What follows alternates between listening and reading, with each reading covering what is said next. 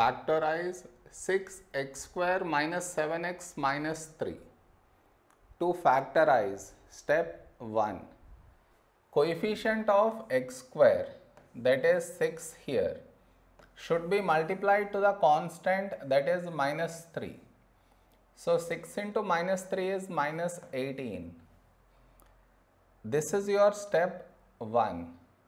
Now you should look out for two numbers such that when you add these two numbers you should get the middle coefficient that is minus 7 and also when you multiply you should get minus 18. I repeat.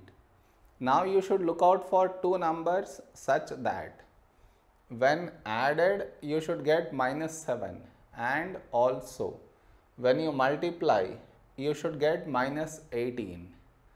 To get those two numbers we should take LCM of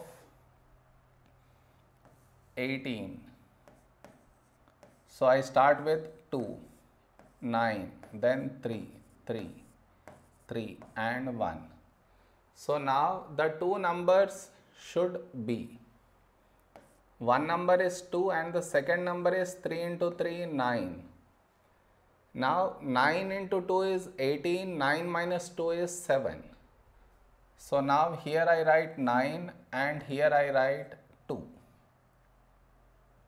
Okay. Now we should adjust the signs. What I mean is here we should get minus 7. To get minus 7 here I should put negative before 9 such that minus 9 plus 2 is minus 7 minus 9 into 2 is minus 18. So now the signs are adjusted.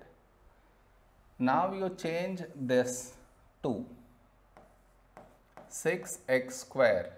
In place of this now you write this that is minus 9x plus 2x minus 3. Did you understand? In place of minus 7x, I have written this. Next. From these two terms, what can be taken out common is 3x. So here you get 2x and here you get minus 3. Whatever you have got here, here also you should get the same thing. Now from this, 2x has gone inside so outside you are left with plus 1.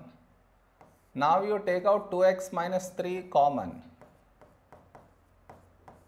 So here you have 3x and here you have plus 1.